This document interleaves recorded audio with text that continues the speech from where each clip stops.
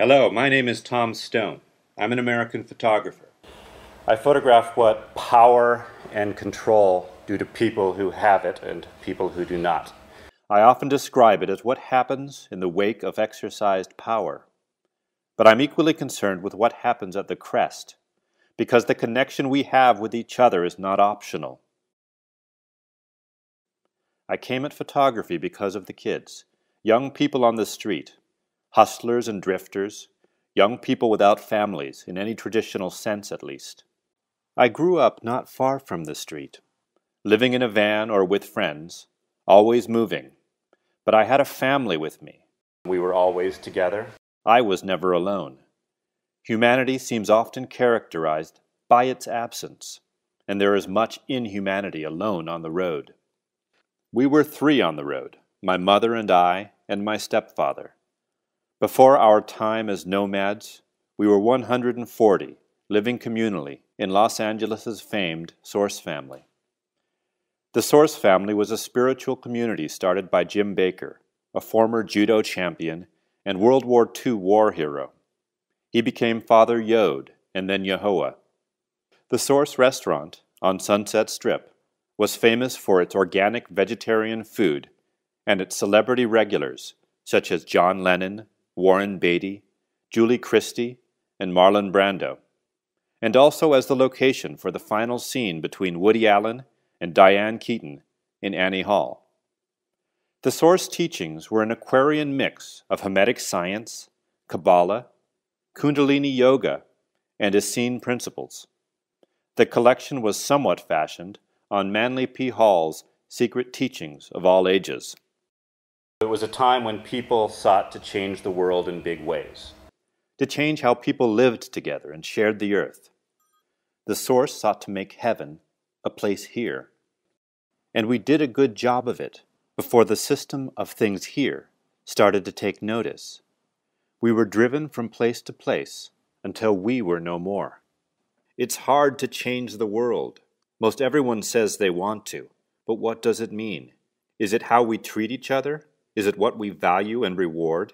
Is it the amount of evil and suffering? Is it the amount of unhappiness? I can't say that I know, and I'm not sure I've gotten a straight answer when I've asked. But I know the balance of things seems wrong, and that we accept things that we shouldn't. We are smothered by the weight of history and tradition, and we justify what is done by its precedent. We know better, and we see better, but we fail to do better on balance. Instead, we allow the powerful to prey on the weak. Systematically, wealth accumulates, and a vast population persists in a state of sustaining consumption with modest earnings and growing debt. Capitalism and capital markets are described as the greatest generator of wealth and progress the world has ever seen. Perhaps, but it seems their greatest feat is reallocation to the top. For example, in the US, a wealthy 10% own 80% of equities. The last 30 to 40 years have seen an extreme growth in inequality. One measure of this is the Gini coefficient. It is a measure of statistical dispersion, i.e., inequality of distribution which is often applied to income and wealth. In the U.S., while poverty levels do not compare, inequality between rich and poor has gotten to a point where it rivals China and is actually worse, according to Gini figures calculated by the U.S. Central Intelligence Agency. Europe has held much stronger figures, though I would wager the financial crisis has pushed the trend in the wrong direction.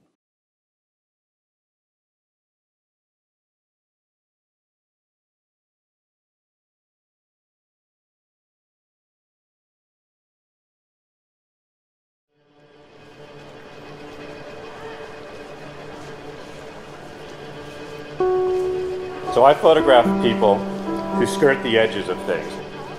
People whose connection to the broader flow is murky or obscured, mistaken as more, less, or different than they are. They aren't really seen and don't really belong. That's everyone sometimes, but some more often.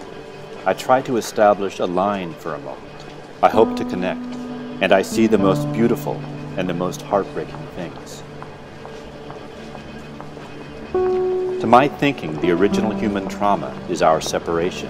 We are too close not to need each other, and too far to trust each other. We rely on dubious senses and clever devices to interact, but we are alone in our thoughts.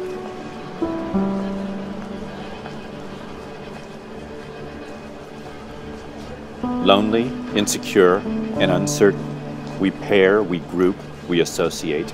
We try to belong and we seek to exclude. We form bonds by geography, religion, economy, and otherwise, but it is all precarious. We come together and we drive apart, and we climb our ladder.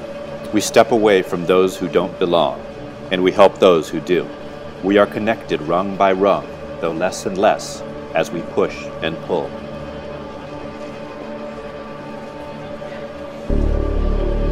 But some do not climb, and below the earth is littered with them. They fit too poorly, they stand apart, they stand without. And what of them, these ones who don't belong, or who are excluded, who don't fit, or don't try? Is there nothing they value? Is there nothing of them we value? I count it as a measure of our ignorance, the depth of poverty in the world.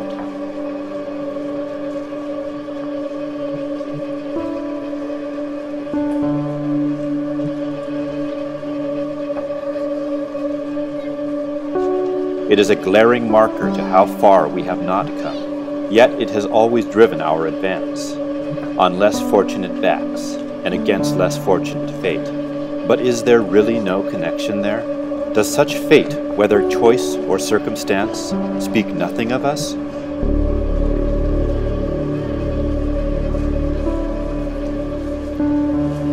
Tell me we do more than advance in place, with so many left behind.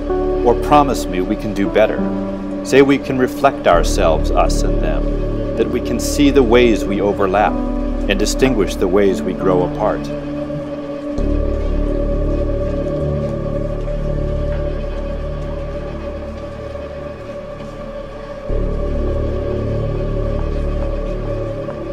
And pledge that we can learn to fit all of our misshapes, to reward value beyond charity and beyond the marketplace, to be better to each other, to be better ourselves, and promise me it could be a better world, or tell me we are at our best.